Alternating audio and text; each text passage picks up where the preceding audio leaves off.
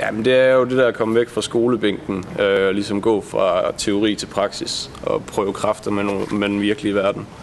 Øh, det synes jeg helt klart øh, er det alt overskyggende øh, gode ved praktik.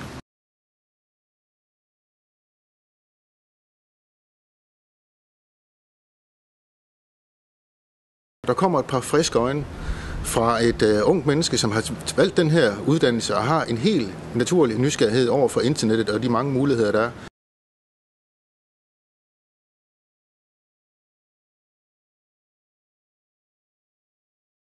Jamen, en multimediedesigner har en række rigtig gode kompetencer med. Øh, de er, som jeg plejer at sige, blæksprutter. Øh, og de har en, øh, en, et bredt udvalg af kompetencer, vi bruger i dagligdagen, når vi arbejder med hjemmesider. Det er jo klart, der er en masse nye ting øh, ved at starte her, men øh, altså alt, alt, hvad jeg har lært i Photoshop og, og så videre, det har jeg jo kunne bruge. Øhm, og også noget med, med, med det, jeg har lært om virksomhed, fordi det er, det er jo et kæmpe netværk, der er i Danske Bank, og det, man skal virkelig holde hovedet koldt for at holde styr på det hele. Efter det introduktionsperioden, så kommer der jo en periode, hvor praktikanten er i stand til at tage fra. Så vi kan sige, den her opgave, den laver du fra A til Z.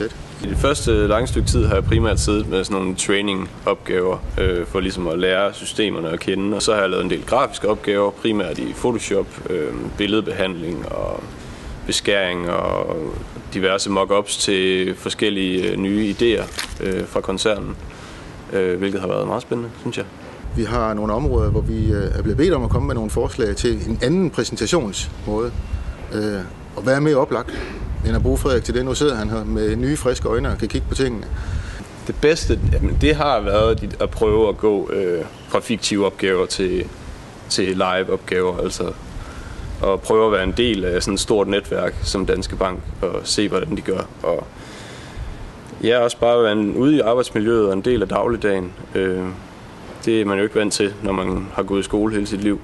Så det, det synes jeg bare, det, det gør en godt rustet til, når man engang skal i gang for alvor. Det man vil man, man får mest ud af, det er at perioden, og som minimum tilrettelægge opstartsperioden, så man får ligesom sat rammerne.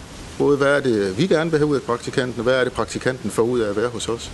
Det er jo for ens egen skyld, man er i praktik, så jeg synes, man skal overveje grundigt, hvad man vil med sin praktik øh, og hvad man vil have ud af det. Jeg har faktisk fastansat fire medarbejdere, som har multimediedesigneruddannelsen.